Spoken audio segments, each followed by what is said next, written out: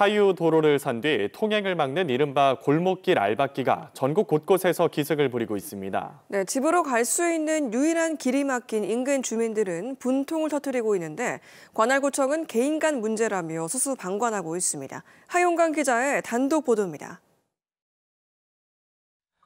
흰색 승용차가 골목길을 막고 서 있습니다. 골목 안 주민들은 2시간여 동안 집에 들어가지 못하고 불편을 겪었습니다. 빌라 6동의 유일한 출입로인 골목길을 매입한 A씨가 통행료를 요구하며 길을 막아선 겁니다. 주민과 A씨 사이에 언성이 높아집니다.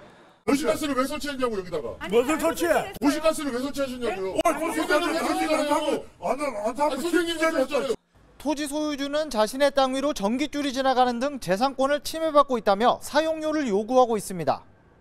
A씨는 인근 주민 71세대에 통행료를 요구하는 내용 증명을 보냈고 협의가 이루어지지 않으면 민형사 소송을 제기하겠다는 입장입니다. 저는 그냥 하면 돼요 그냥 재판을 이분들한테 지금 저는 기회를 드리고 있는 거예요 지금 제가 주민들은 온전히 A씨가 통행료를 목적으로 4년 전 땅을 샀다는 입장입니다. 도로 땅을 집을 지을 수도 없는 기고 아무것도 쓸모가 없는데 그 우리들한테 이제 돈으로 몰랐고 이걸 땅을 샀는 사가지고 이거 우리한테 이렇게 도로를 막겠다 이러 하는 모양인데 이것은 우리는 용인할 수가 없지요.